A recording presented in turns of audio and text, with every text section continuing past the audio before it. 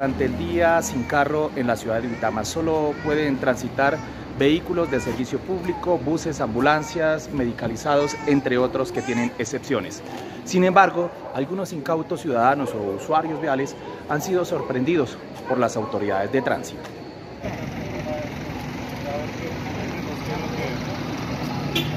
trabaja en diálisis. Le muestro al señor agente con todo respeto, le estoy mostrando papeles que son vigentes, miren. Mi papá se llama Israel Suárez, él está en la clínica en este momento en Fresenios. Él tiene una diálisis de 12 a 3 de la tarde.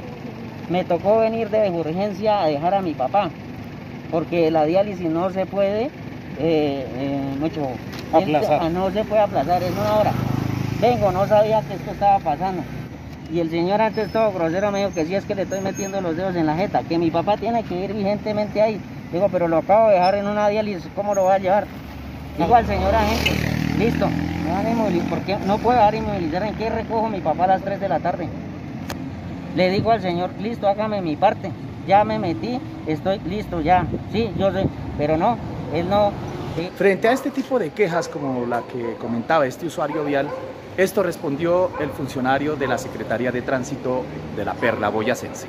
No porta documentos y solamente tiene el celular y me muestra que él se llama, pero yo los documentos deben ser originales, únicamente, únicamente. ¿Qué documentos? El documento, el seguro obligatorio lo puede portar en un celular o en un medio móvil, pero lo que es la licencia de condición debe ser original.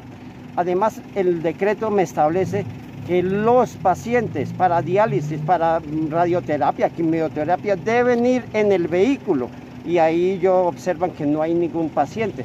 Además, él intentó fugarse, por eso le nos tocó atravesarle la grúa. ¿Por qué? Porque nos iba a echar el vehículo por encima. Eh, además me dice, hágame el comparendo, pero ¿a quién? No sé cómo se llama, no se identifica. Los únicos documentos válidos para identificación son la cédula de ciudadanía. Si no la tiene, al menos la licencia y condiciones tampoco la tiene.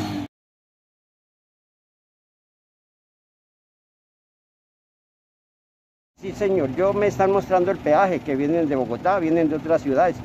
Les realizo el comparendo, como ustedes observaron, el señor de anterior venía de Sogamoso. Mm, le hice el comparendo y se fue. Durante la entrevista que tuvimos con el funcionario de tránsito de Duitama, indicó que sobre el mediodía ya llevaba alrededor de 15 comparendos de tránsito. La mayoría de ciudadanos vendrían de otras partes de Boyacá.